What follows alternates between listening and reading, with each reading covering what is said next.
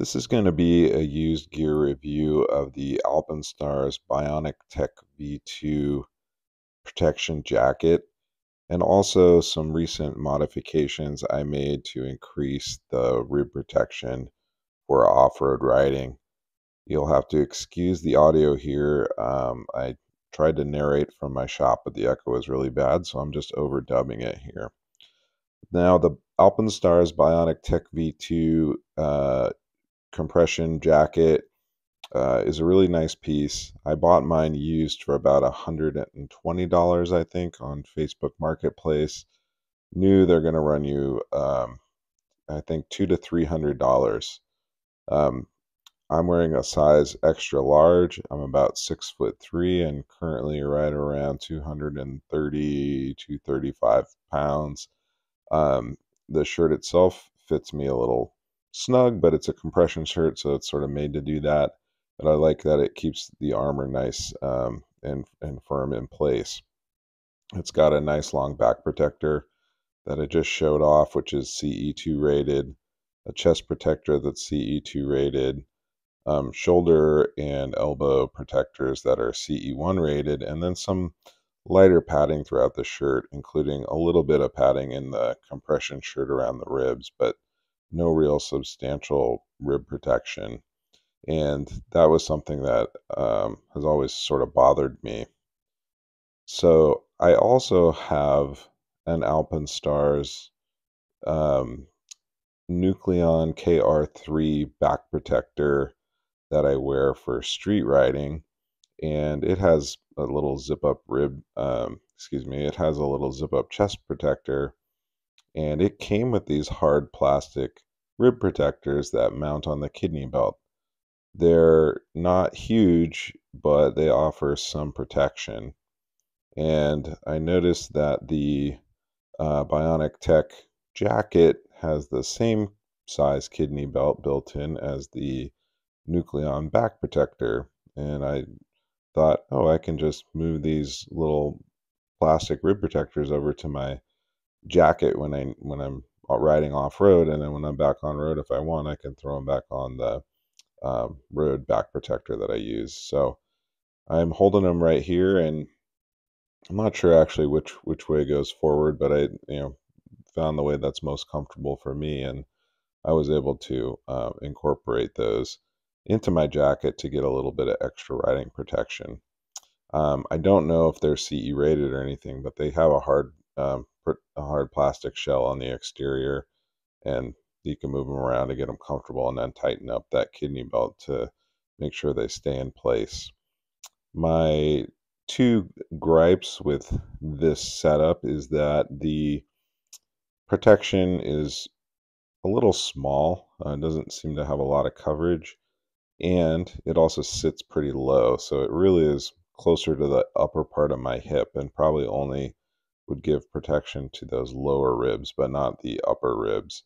Um, the lower ribs do tend to be the more fragile ones, but um, as we all know, a, a hard impact is going to crack what it's going to crack. So uh, I was hoping for something that would be a little bit more substantial. I'll zoom in here on the pad so you can see sort of how they fit and you can see the coverage. Um, as you can see, it sits a little low and it leaves those upper ribs exposed and the overall coverage isn't massive or anything better than certainly better than the jacket without them on it. So my creative solution was to buy a karting rib protector. I ended up buying a used protector from armadillo um, and it, it's a velcro on system that had suspenders that could be removed and um, the karting drivers require protection from the seats that can really bruise them up. It's like a semi hard. You can hear me hitting it. So this protector from Armadillo has some flex to it, and it also um, is pretty tough material. So it's kind of got a hard but flexible exterior. And with removing the um, suspenders from the setup, it let me just kind of wrap it right around my torso, um, sort of underneath the chest protector, but over the back protector, and it kind of sits in place. There are two adjustment straps that help cinch it up and keep it uh, nice and firm, but let your lungs expand fully, and it, it rests right in place and forms right around my body and doesn't add too much bulk or anything. So I was pretty happy with that. And I did buy it used for only 30 or 40 dollars. I think new they run a little bit over a hundred dollars though. So if you hunt around for rib protectors online, you can find some good used ones. I'll add that while the rib protector is pretty hard on the outside, there is sort of a soft memory foam on the inside that makes it pretty comfortable to wear. And I'm going to cut back to the original audio in a second once I uh, get this thing strapped up um, just so you can hear again me knocking against it with my fist, and it gives a pretty good rap. You can kind of tell how um, how dense and hard the the protector is. Probably somewhat like a tech vest or something. Okay, so now that is much better. Um, I'm wearing it up here, and it's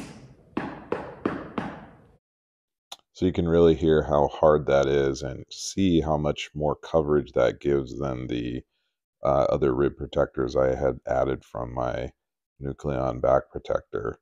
Um, it doesn't seem to impede my movement. I can twist and go, you know, lean sideways and move around just fine.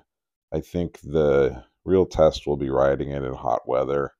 Um, it doesn't, you know, have any holes for breathing or anything, but um, you know, a tech vest or something similar to that, I think would probably have about the same level of heat. But the nice thing is it doesn't uh, wrap around my whole body. It's just mainly the, the ribs, and um, uh, so therefore the cooling might not be so bad.